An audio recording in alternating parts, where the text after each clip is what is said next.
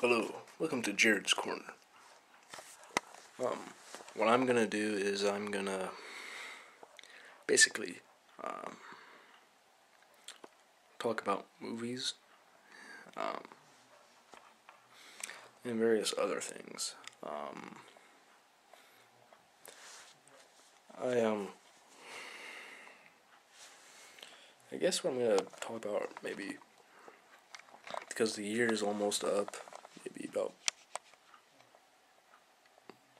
um, a movie from this year. I'm gonna talk about Batman, The Dark Knight Rises. Um, uh, I'm just gonna say it was a great film. I think I like that one the best of the trilogy. Um, Christian Bale is awesome as usual as Batman, as is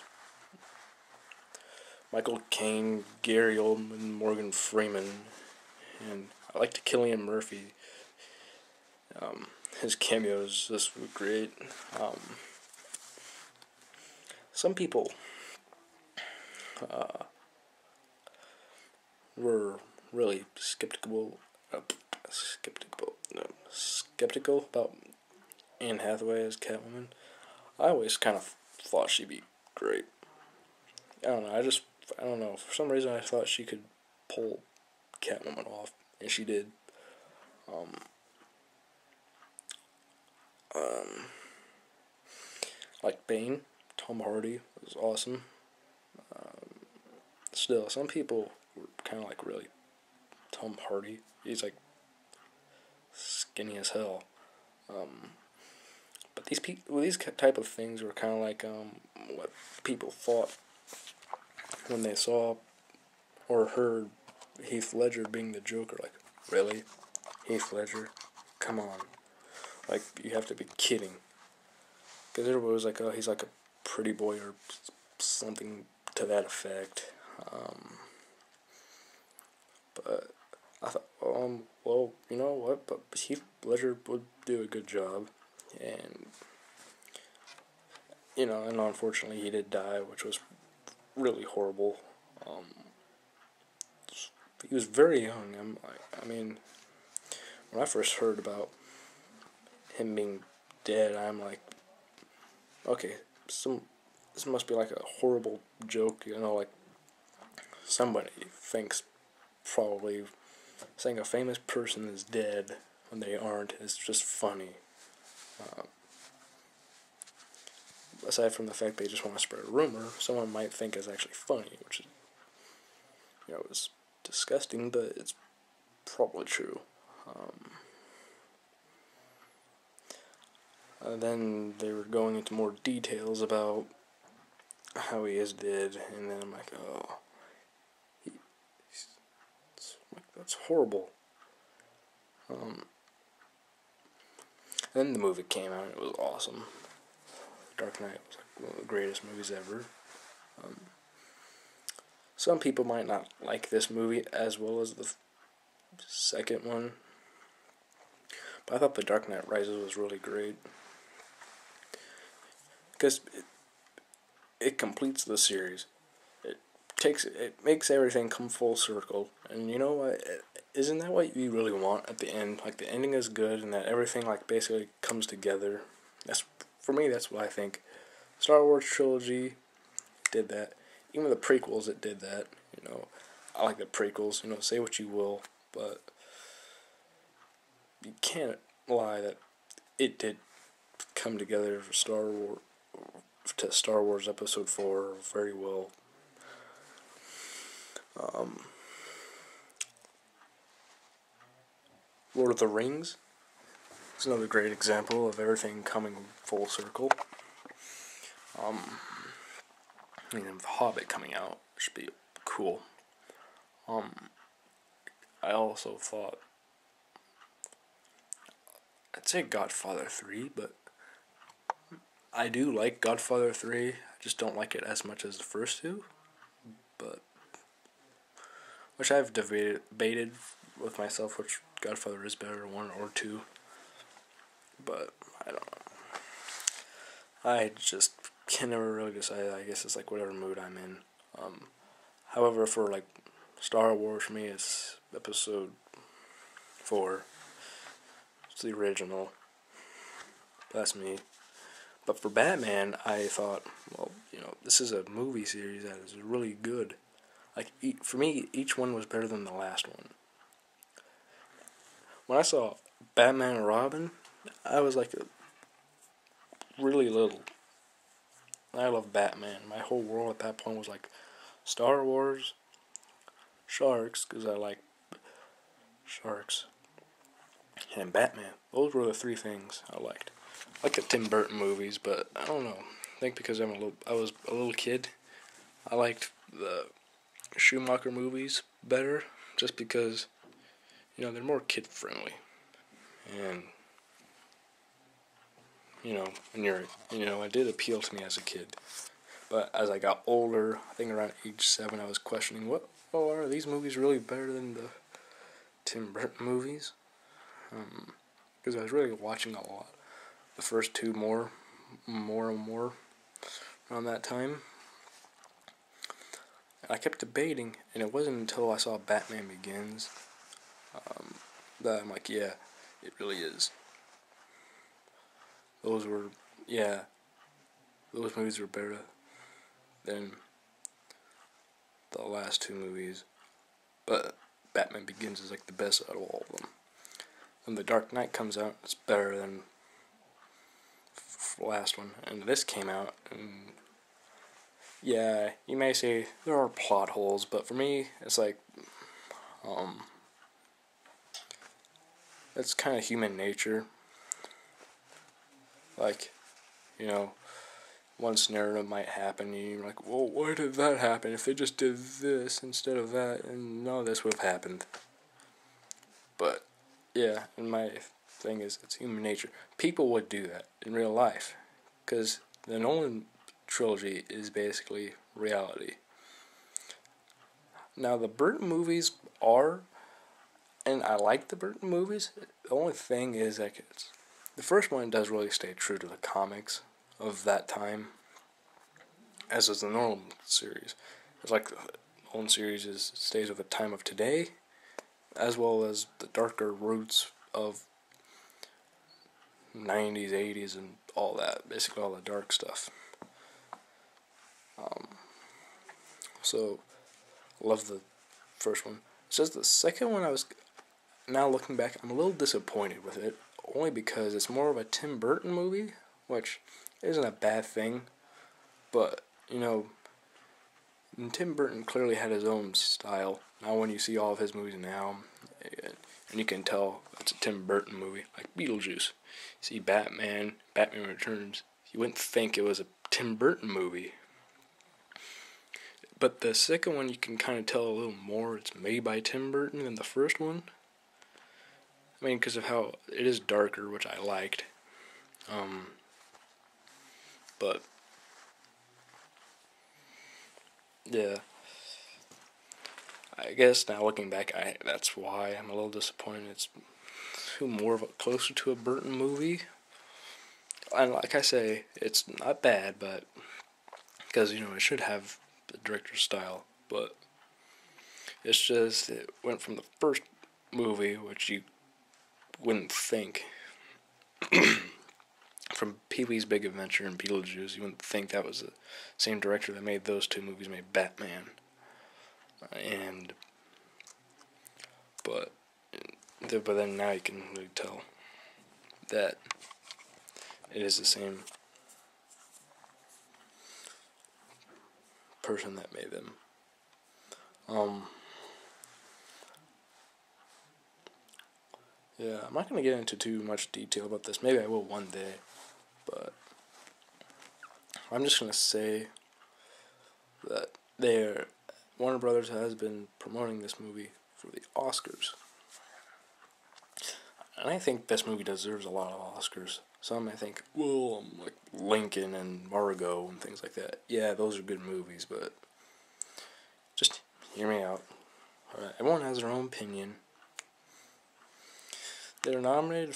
They want to be nominated for Best Picture, obviously, which I think it deserves, because it is a great movie. It is a great ending to a great trilogy.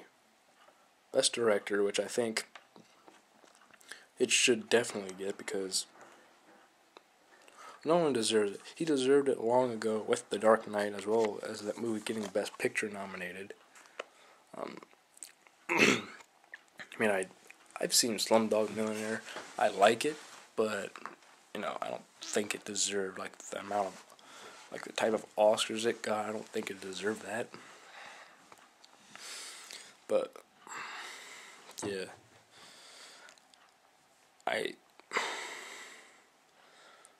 think it should have been nominated for Best Picture, and I think Christian Bale should have been nominated for Best Actor. You know, I'm not saying he would have gotten it, but you know, at least acknowledge him for that. It's also been nominated for. They wanted to be. They want to be nominated for adapted best adapted screenplay. Which I don't know if it would win that, but I guess it would be worth nominating. I don't think it would be worth have it win it, but sure acknowledge it, I guess. I think it'll be a stretch if for it to win screenplay.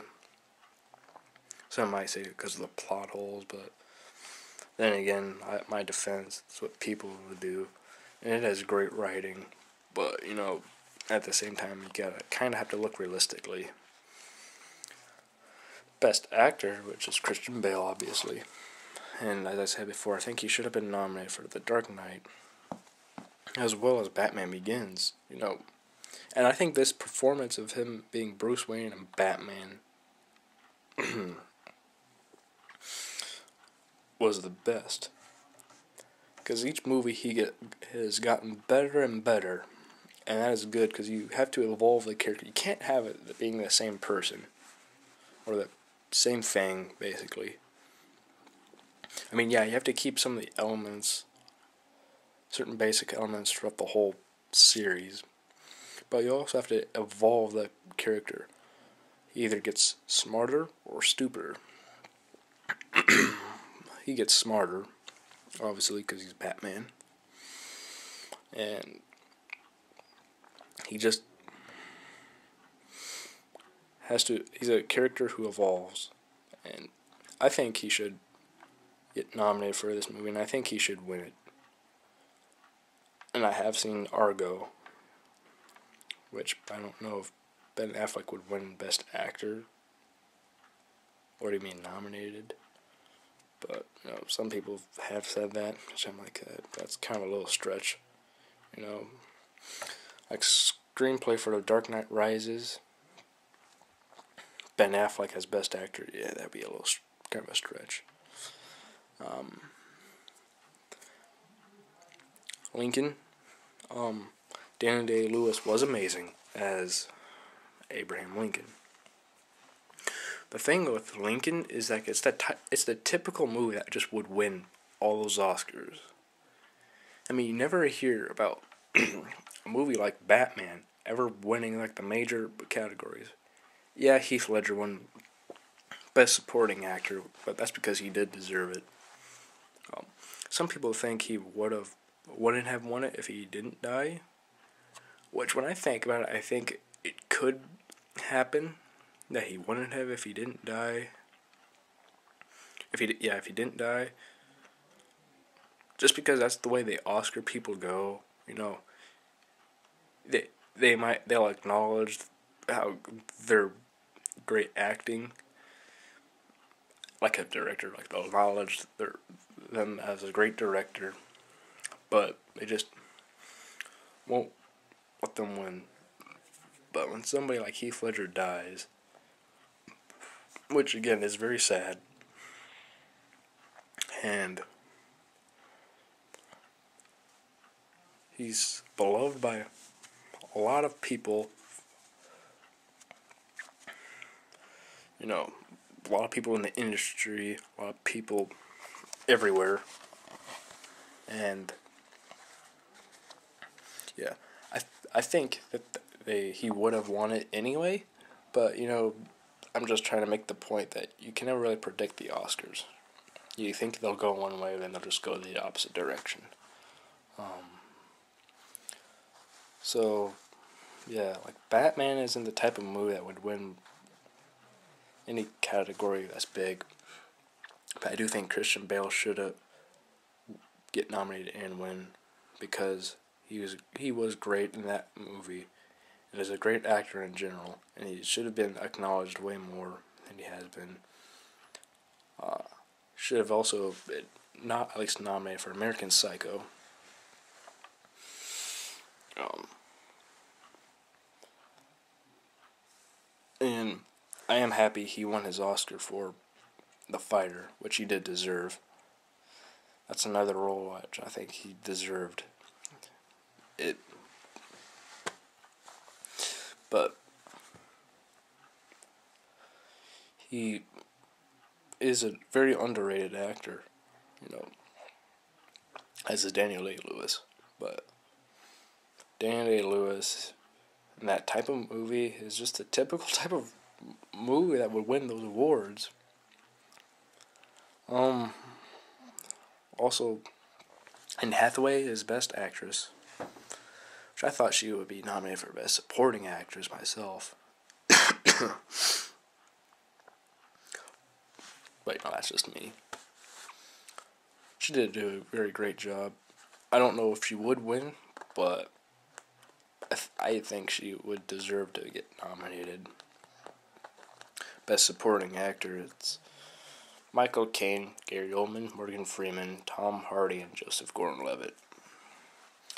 I kind of think Tom Hardy, Gary Oldman, and Joseph Gordon-Levitt should get nominated. I would like to see Gary Oldman win because he's made movies for many years, and his first Oscar nomination was for Tinker Tailor Soldier Spy, which is a great movie. But you know he did a great job in this movie. Um, but I would also kind of like to see either Tom Hardy or Joseph Gordon-Levitt win. But yeah. I also would like to, yeah. Um, Marion Cotillard for Best Supporting Actress, which I don't know. She is a great actress, but I don't know if that would be the type of role for her to get nominated. And you know, of course, all the technical stuff it would be nominated for, but those were like the big categories it would be nominated for. Um, but I really think it should win music for sure. I think it has music in the bag just right away because it the whole trilogy is just amazing. And I can't believe that Hans Zimmer and James Newton Howard, who didn't do the music in this movie, as we all know, they should have been nominated and won for the first two movies. Because this music in those movies of of, the, of this whole trilogy is just epic. It's just like Star Wars, you know. Like I say again, say whatever you want about the prequels stuff, but the music is always kick ass. Star Wars' music is kick ass, and the new Batman music is kick ass, and I'm just uh, I love it. Um, but yeah, this is just me, my movie thing. I'm just saying. This is kind of what my thoughts are for Oscars of both the past and um, for this upcoming season of the Oscars. I'm not trying to bash the Oscars in any way at all, you know. Don't think I am. I'm just pointing out certain facts, I guess you could say, that are true. They don't acknowledge great movies as much as they should. Um, as well as actors and directors um, of either both winning nomination, winning the na- nominations there of the categories that they were in, which doesn't really make sense. Um, of either have them be nominated for a category and then them not winning it when they deserve it, or them just not getting nominated at all, like for acting or directing or best picture or so on and so forth. I really would like to see all the things I've said happen. You know, but realistically, I'm not gonna really hope really high. My hopes, my hopes are high, high for The Dark Knight Rises of getting the nominations and getting in, like the nominations that they're campaigning for and getting the wins. Hopefully, like a majority of them. Like I would like them to see win like all the major categories. Maybe like lose a couple technical awards because really, you look at it, technical awards. It's kind of like, yeah, I understand you should not you should acknowledge those really behind the scenes as well.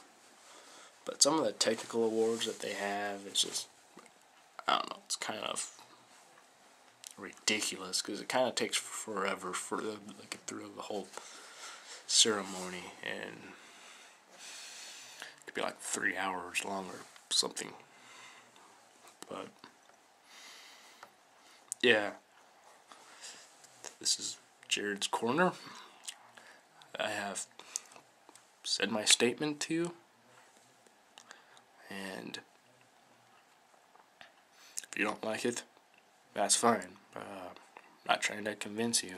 I'm just trying to, or sway your opinion either way. If maybe if I what I've said, you may consider thinking a little differently or whatever. That's fine too not trying to. Some people, when they, you know, explain things, I might tend to agree because just the way they explained it, it, that might get me thinking, and maybe I'll eventually form that as the opinion of what I have as well, and might change. But everyone has their own opinion. I've spoken my opinion, spoke my mind, and maybe a little too much, but yeah. You can write comments or whatever, doesn't matter. Um, yeah. See you next time, hopefully.